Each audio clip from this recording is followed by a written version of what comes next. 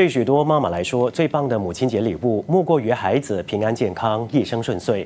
霹雳太平一名单亲妈妈，在丈夫十年前离世后，靠着政府和非政府组织每个月的资助，独自背负养育一对弱智儿女的和照顾年迈家翁的重担。一家人住在一房式的木屋，生活简陋，但她从不抱怨，只希望百年归老之后，孩子也可以好好的过活。母亲节专题报道，带您去听听这名单亲妈妈的故事。开心系开心，不过唔系几开心啦。几个人诶，又冇咗老公，又冇咗老豆，咩开心啊？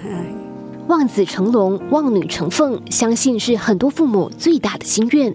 然而，并不是每一位孩子都那么幸运，获得上天的眷顾。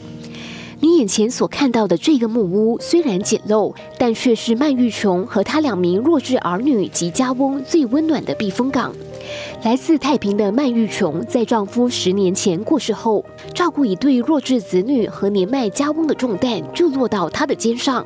大儿子自小有智力障碍，若是不长期吃药，还会有骚扰他人的行为；女儿则是在五岁的一场高烧后导致弱智低能。由于儿女都缺乏自理能力，成了麦玉琼最割舍不下的牵挂。适逢母亲节，天下父母心，她别无所求，孩子未来的生活获得保障，就是她最想要的母亲节礼物。有时好激心咁啊，见到就两个咁样啊，人都好睇哋咁样样啊，人都好激心咁啊，因为佢就话唔识嘢，又唔识咩嘢唔识。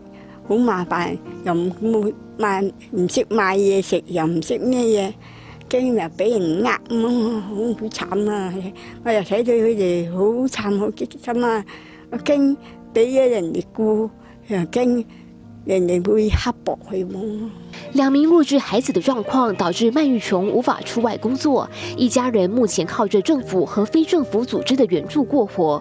命运虽然开了曼玉琼一个玩笑，孩子的智力缺陷有时让他很受挫、难过，但他从不向命运低头，也懂得欣赏孩子懂事的一面。系咯，我细个哥哥系咯，我阿妈好惨，啊，佢唔得整阿妈啊，一日阿妈，嗯。冇得俾你食，好惨噶！哦，佢啊，佢又唔整，又唔整噶。佢佢又佢依个個仔走噶咯。佢呢个仔咧，佢识谂嘅，但係个女咧唔识谂，一你要笑，一你要要食嘢。啊，你叫佢做，佢就做。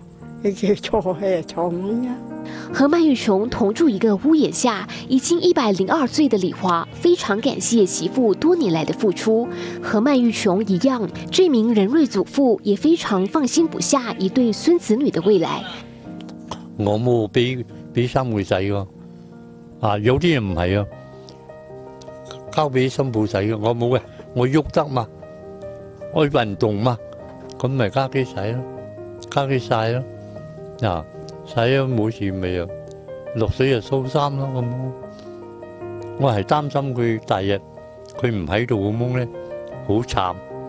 适逢母亲节，马华太平区会主席洪瑞英和太平市议员李伟霆也冒雨送上母亲节蛋糕，让这一家人度过温馨快乐的母亲节。在洪瑞英眼里，麦玉琼不只是一位伟大的母亲，她坚强勇敢面对生活上的不如意。尽管一家人并不富裕，但只要平安生活在一起，分享着甜甜的蛋糕，已是人生的一大满足。